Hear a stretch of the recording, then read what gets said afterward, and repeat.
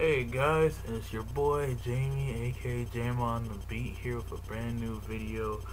Uh, this one's kind of be kind of different from like other stuff I usually do, especially the, talking videos, even though that's what this is. Uh, but before I start, um, I want to give a quick shout out to my good friend Zach. Um, so recently he made a brand of his called uh, Caviar, and um, he me and him were kind of talking a little bit, and like I decided to just for the heck of it, even though this ain't like a paid sponsorship, I I just want to um, shout out to his brand a little bit, Caviar. Um, so you know, um, you know, you got your Supreme, you got your Gucci and stuff. I feel like Caviar might be the next best thing out there right now. So uh, right now, I know they're um, he and his company are like doing um, sweatshirts and like t-shirts and uh, mugs and stuff. So pretty much like you know the basic accessories. Uh, for me, I'm pretty much a broke dude, but I was able to um, enter a good, good old-fashioned giveaway and got myself this nice white mug. Uh, I forgot the name of the collection this is from, but uh, you know I'll leave a link to the cup um, in the description if you guys want this cup. That's my boy Zach, and that's the whole caviar brand. Um, he based it off of me and his, and yeah, pretty much like he's trying to make into a brand. So kudos to him, and yeah, he's a good friend of mine, and like I hope that you guys do check him out. Uh, I'll leave the link to um, the website where you can shop um, for the brand, anything you want, uh, in the description down below, and I'll also leave a link to at least like one or two of the social medias that like uh, also include the brand. So, um, yeah, so make sure to get yourself something. I promise you, like it's not a regret. I, you know what, like like just to prove you guys how loyal I am, I'm gonna be drinking from caviar from now on. Here's my bottle of. You don't need to know what I drink. Alright, there we go. Caviar, baby.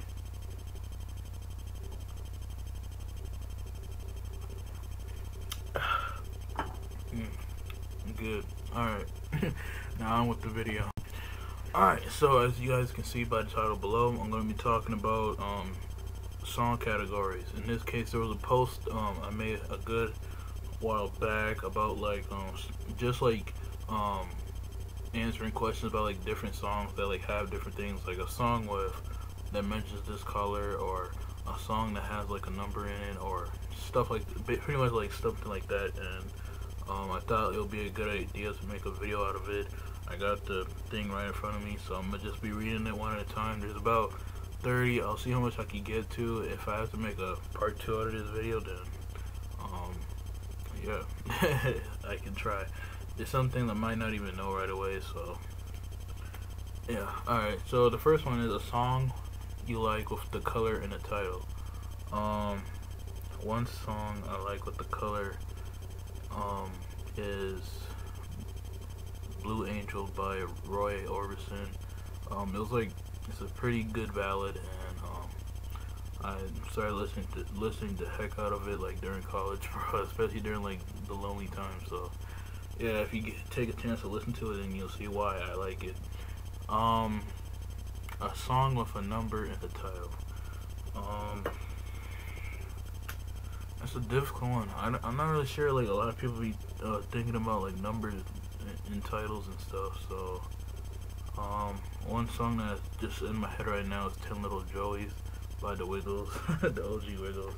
I don't know why. It's just the first song that uh, came into my head that includes a number in it. So, um, yeah. So yeah, there's that. Um, third third thing is a a song that reminds you of summertime. Um,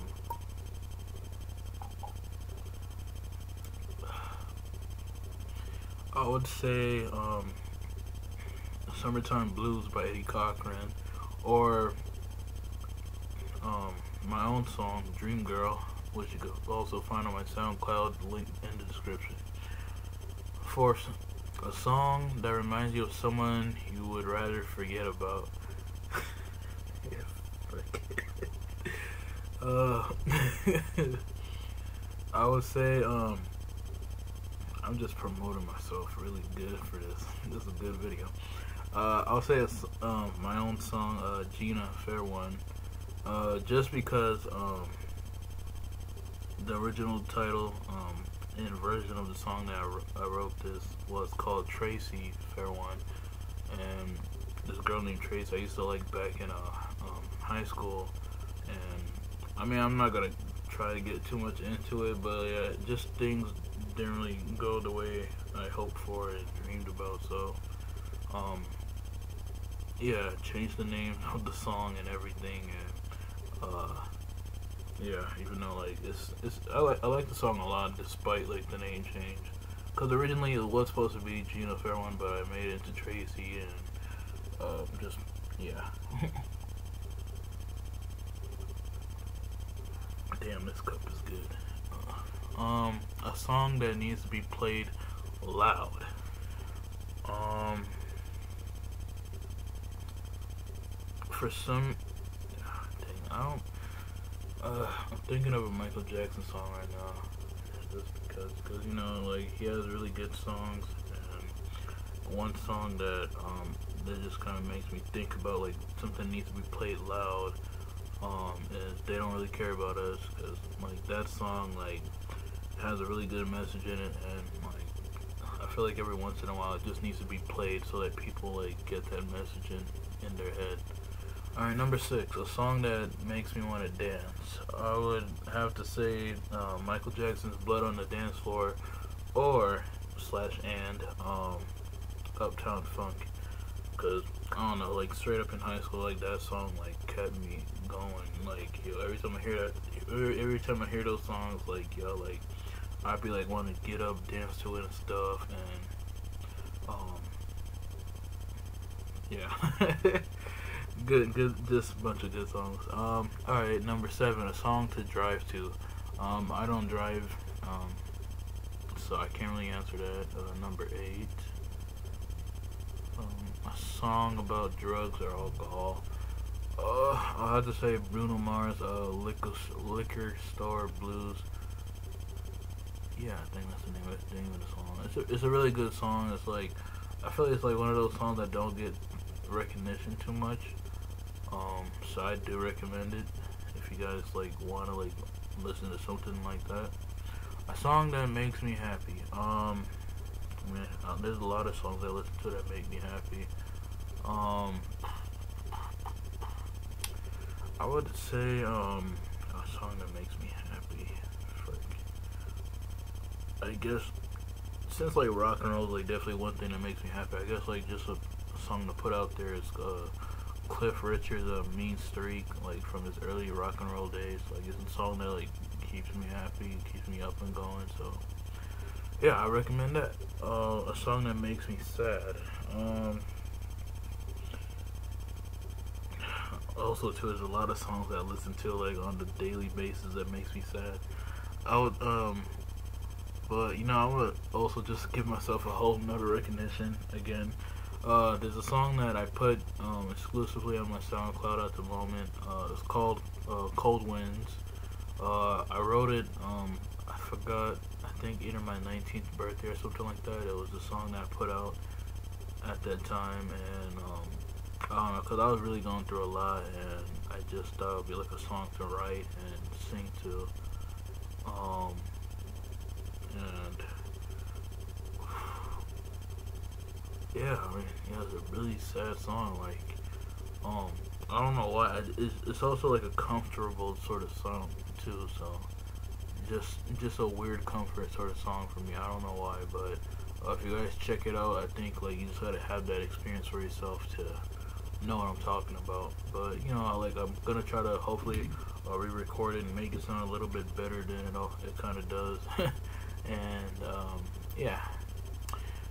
All right, uh, we're at number 11.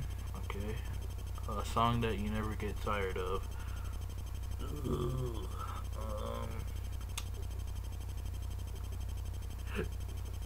me. Um,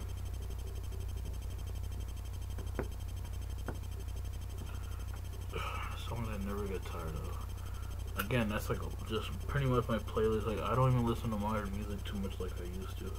Like a good chunk of my music on my phone are just like songs I don't really get tired of.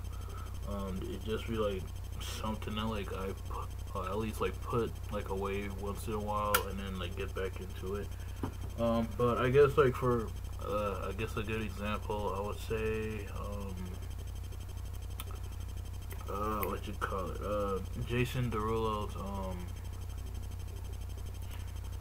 uh, in my head yeah that's the song yeah Jason Derulo in my head that's a really good song I, I don't really get tired of it like me and my friend uh, every time like we hang out, like that's like one of the songs like we play instantly, like when we're in the car driving somewhere. So, yeah.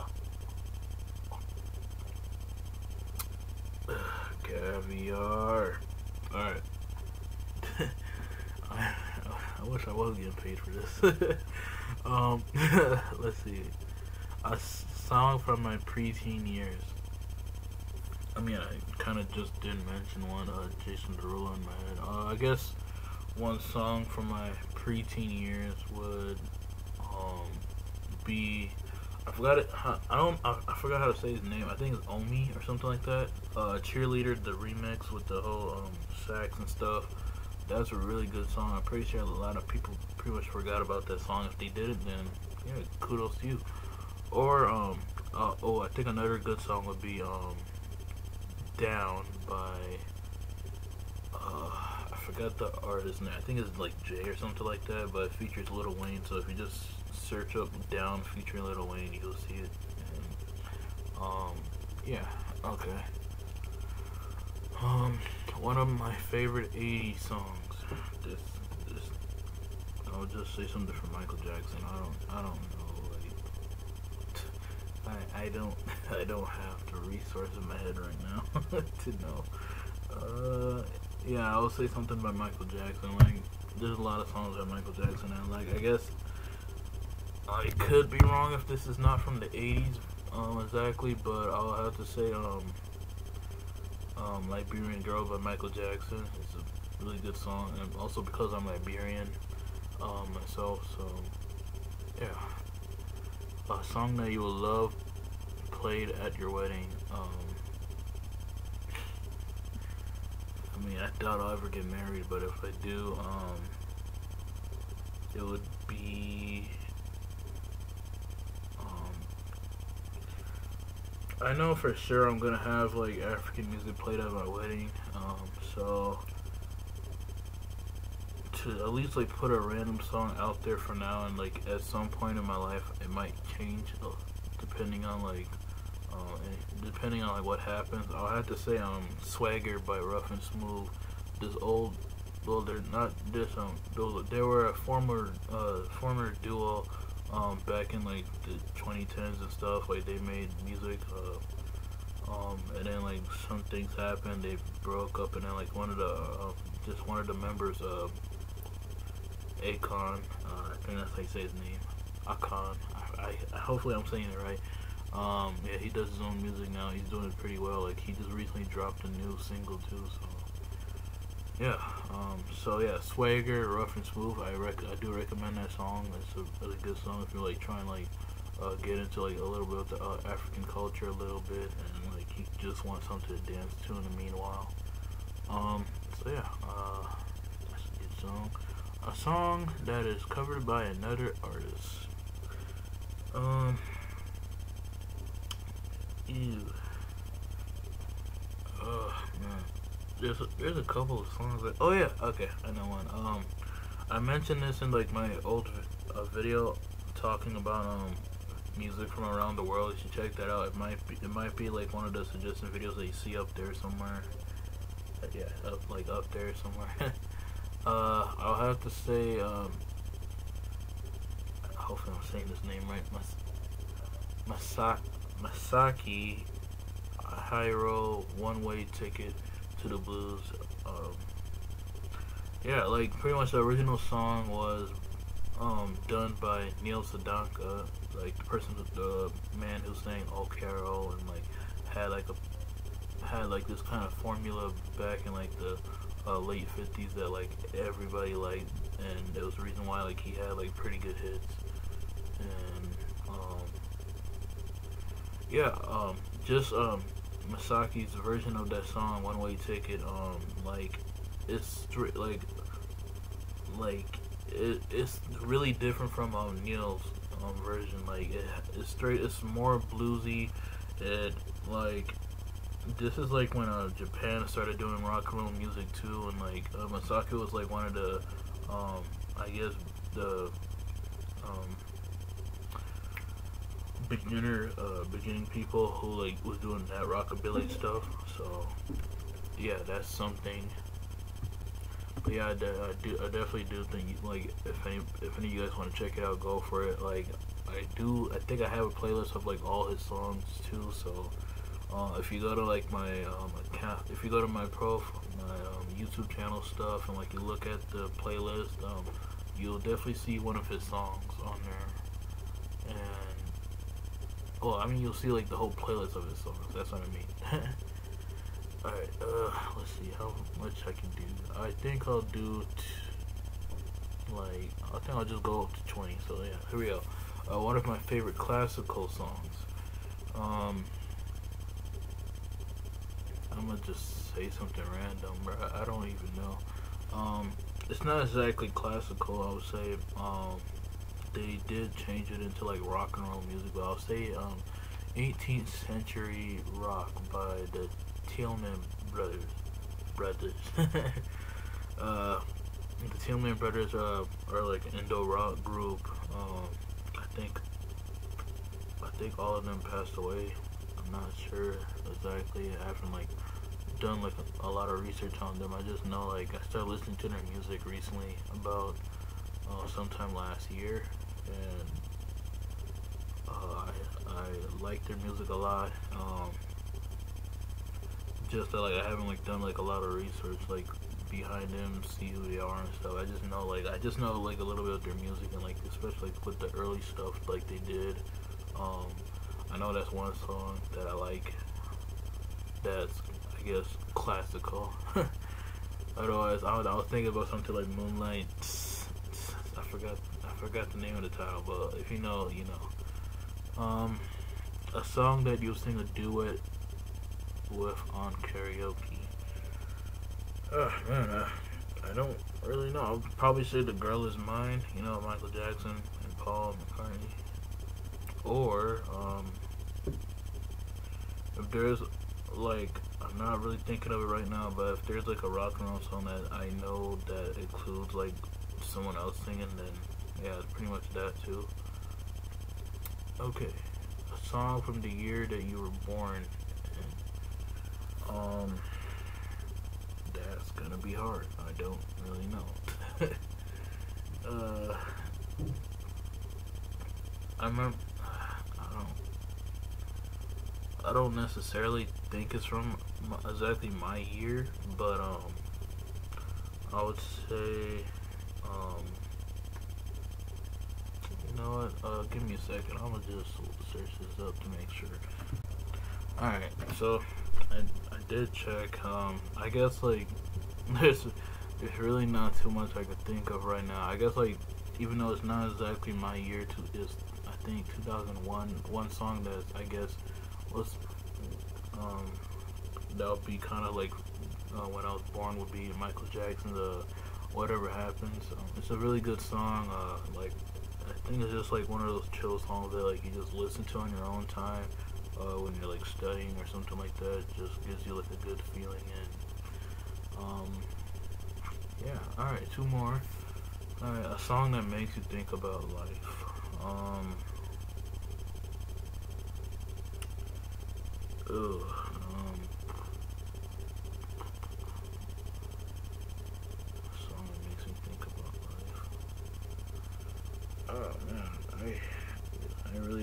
I'm honest. Um, I know it had to be something modern for sure. But, um, oh, okay. I, I, mean, yeah, okay. I mean, it's, it's relatable to life, and like, there's been a few times when I remember when I was listening to it, it did make me kind of think about certain things here and there. there's a song by my good friend Jay Williams called uh, Christians. Uh, pretty much, um, it's kind of like a song, not exactly a song skit, but like, um, he pretty much like rapped about um, both sides of like um, what uh, a Christian, a regular Christian person, and like a person who's not Christian, like how their lives like um, together goes, like um, how like sometimes like um, when you're a Christian and like you're trying to like influence other people, like you sometimes like just push them like to, in their like uncomfortable side or something like that. I don't, I can't really explain it. Like you'll just have to listen to the song for yourself. But like it's a really good song, and yeah, I know when I first listened to it, I remember I think he put it out on my birthday. I'm not sure exactly. Um, but yeah, I was listening to that song a couple of times back um, when uh, he released it, and like he has a really good song, and like there's really like a good meaning in there, and like as a person who believes in God too, like I do understand like what he means in that song. So yeah, and number 20, a song that has many meanings to you. Um. Oh God. Okay. Um. I would say. Um.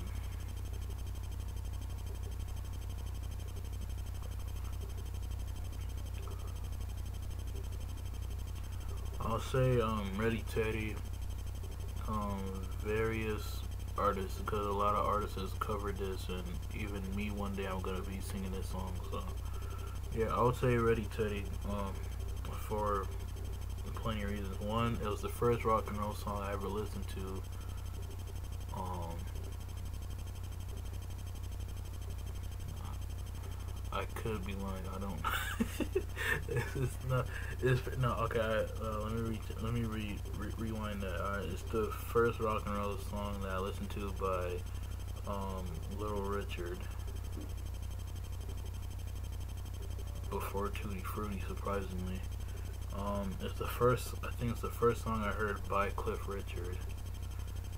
And like eventually, I started liking his music a lot, and he definitely became one of my biggest idols up to date. Um, seeing Elvis performed it on when he when he first like went on Ed Sullivan like really made me go into rock and roll music a lot more. And like it was one of the few reasons why I started liking Elvis a lot. Besides watching his movies and like his early Sun Record days. Um, it's somewhat how I got into Buddy Holly. Besides um, La watching La Bamba, you know the uh, bio picture. Um,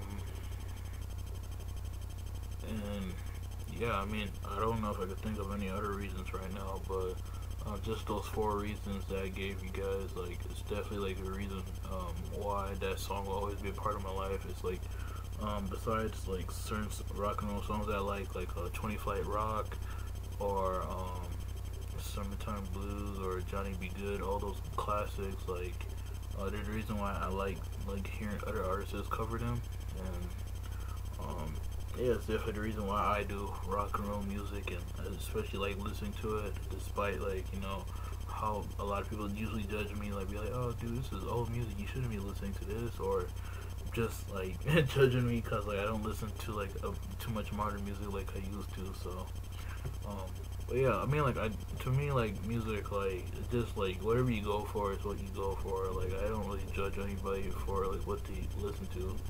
Uh, if it's if it's not my preference, it's not my preference. So, yeah, and yeah, I guess this is technically a part one of the video. So, um, yeah, I hope you guys enjoyed. Make sure to leave a like, comment, subscribe. Uh, once again, uh, thank you to my friend Zach for this cup. Uh, make sure to check out Caviar. I'll leave a link um, to the website so you can check out their, what they got. Uh, yeah, I really do think it's a really good brand, and um, yeah. Alright, also too, make sure to stream uh, my new song, Baby Blue Dress. Uh, we're, we're getting close to 100 um, plays on SoundCloud, and I'll technically say here on YouTube too, so yeah, it might be like one of those videos that you might see like um here. so yeah. Alright, thank you guys so much and yeah, see you next Monday.